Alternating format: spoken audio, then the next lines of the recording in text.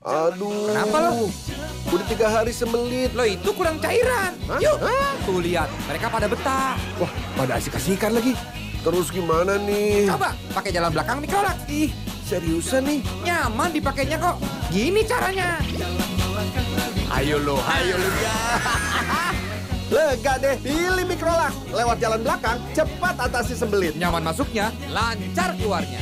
Mikrolak, obatnya orang Indonesia. Dari Faros.